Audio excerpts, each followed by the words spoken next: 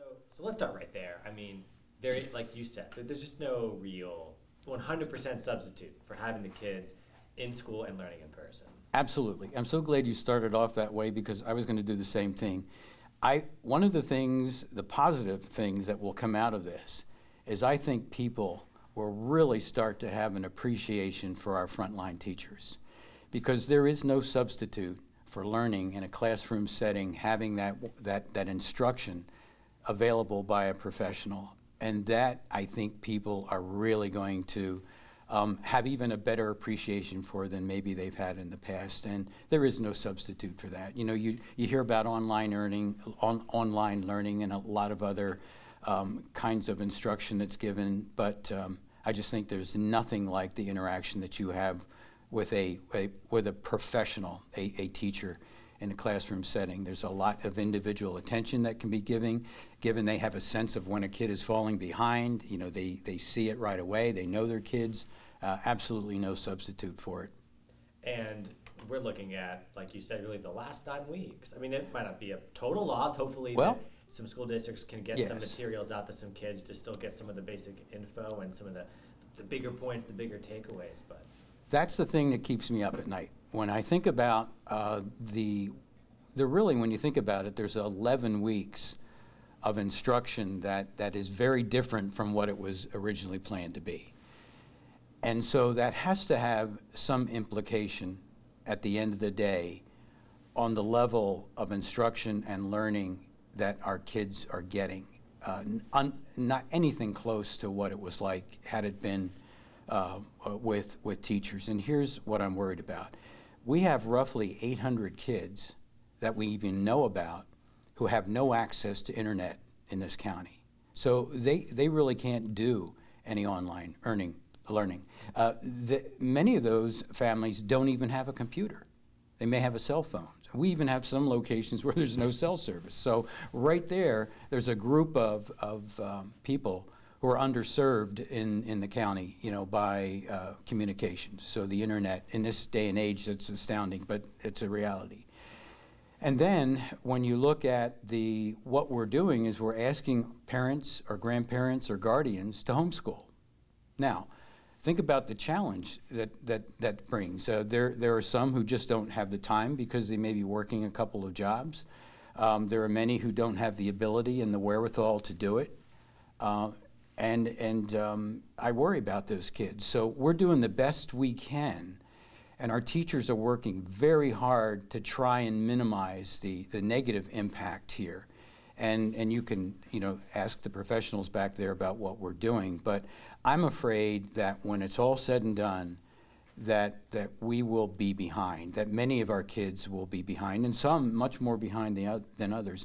Uh, one other group I worry about is our, K th- our kindergarten through third grade kids learning how to read is absolutely critical by the third grade. And, and learning how to read and the ability to read gets you through the rest of school. And, and the way we teach reading is through small reading groups. And so those, you, you go into a kindergarten, you'll see that in action. That teacher is very involved in that. And so we've kind of lost that. And so I'm- repetition is key. and so I'm worried about those kids. So at the end of the day, there's going to be a learning gap, in, in my view, that the school system is going to do the best they can uh, to, to close.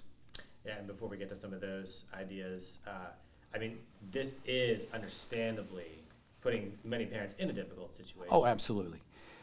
Well, not only when you th- we've learned some things too, and so we've adjusted. First of all, I want to I want to commend uh, Dr. Nicely and his leadership team for the extraordinary effort they went in planning to even get ready for this. It's so complex in so many levels as to how to deliver the instruction. And we're also, we, we really tried or attempted at first to make the instruction as normal as possible. Then I think we learned early on that it was creating uh, or putting a toll. first of all, families are stressed.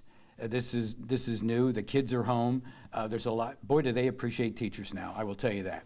But there's a lot of stress in, in, in the in the work in the family unit, and we noticed that, and so we kind of backed off on uh, assigning grades and homework and due dates and things like that. Um, and so we did that for this this two week period. Now, in the next nine weeks, uh, we're going to try and, and get back to somewhat normal, but teach only, uh, and they can get into the details, uh, what's absolutely necessary to help them advance to the next grade. And so we'll, we'll, we'll do the best we can do there.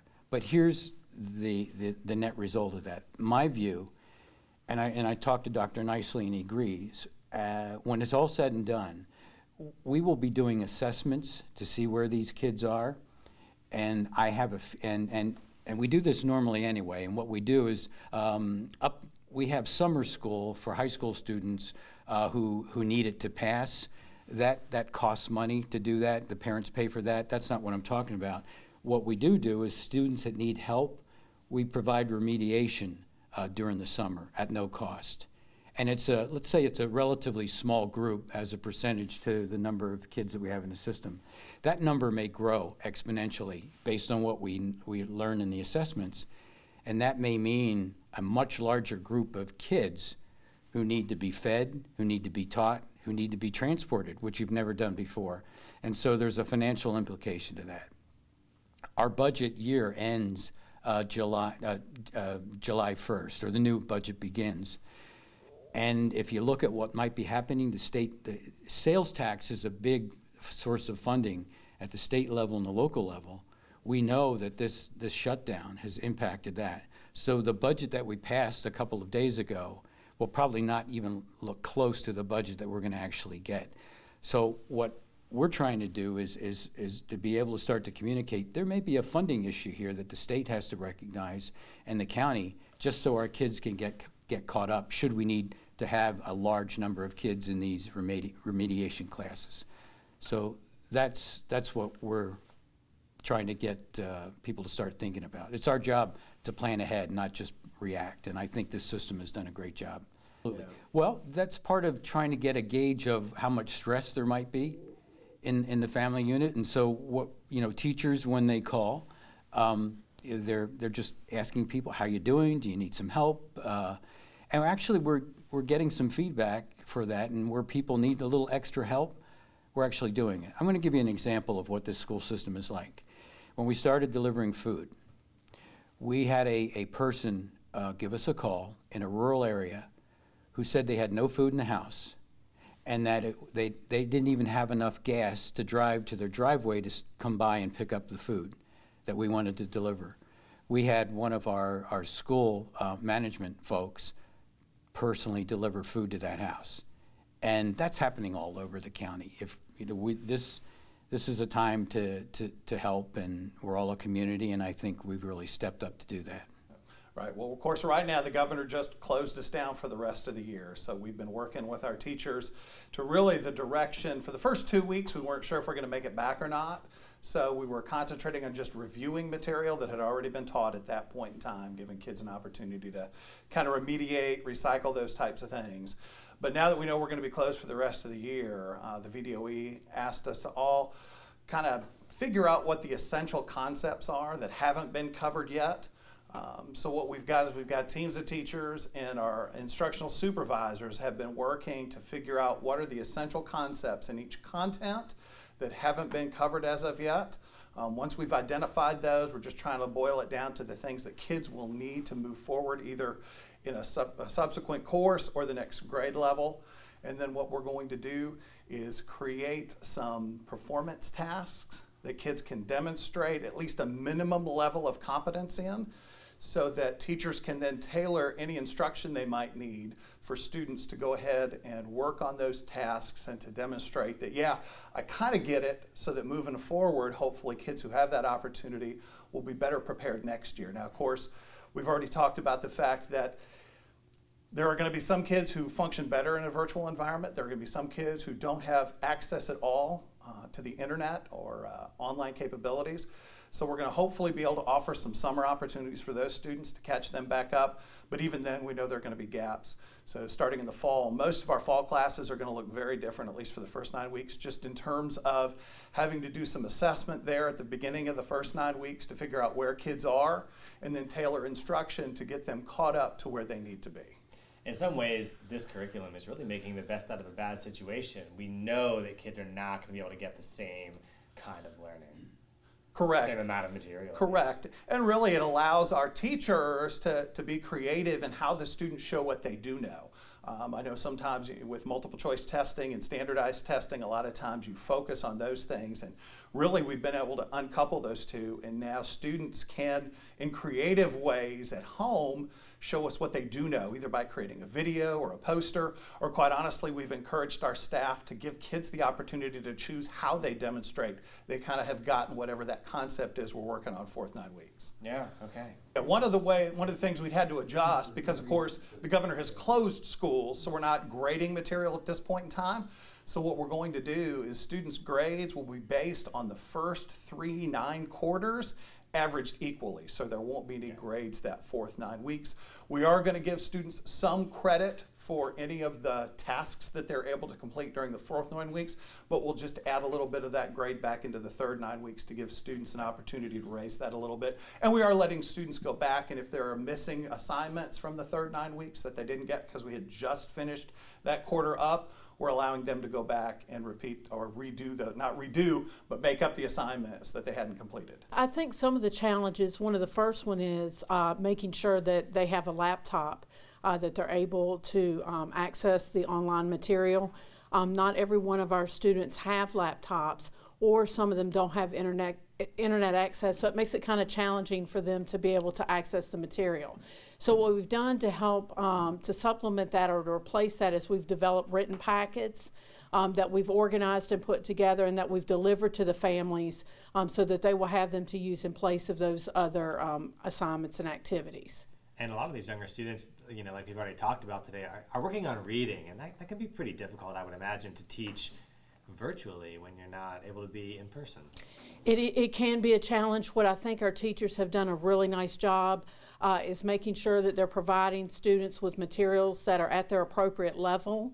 Um, because we do know when providing reading instruction, we want them to be able to access that material at their level so that they can learn. And so, with that, I know for some of our parents, it's it's a different kind of uh, format and, and kind of um, experience for them teaching this reading.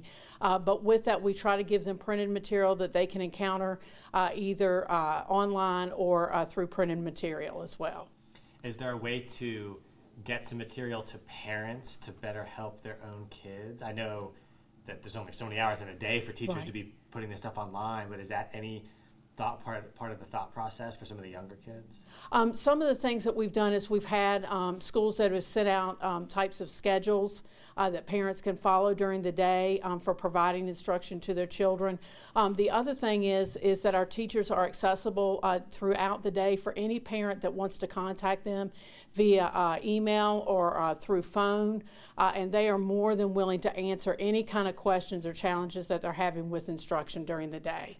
Yeah, those are the printed materials, and what we do is uh, we've identified every student that does not have either internet access or online um, or uh, laptop access, or their parents have made a request for printed material.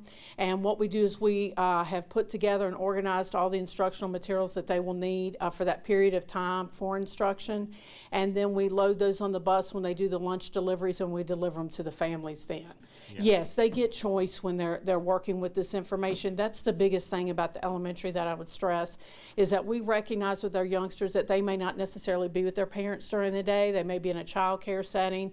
They may be with grandparents. It may be a neighbor. And so what we want to do is give them choice. And so what the assignments that we've given them, we don't just give them one assignment that they can choose from. We give them a different, like a menu type of choice so that they can work with their child at the level they feel comfortable. Um, but again, I really stress that we, we want our teachers to be available to our parents to, if they have questions about instruction, that they're more than willing to assist and support them.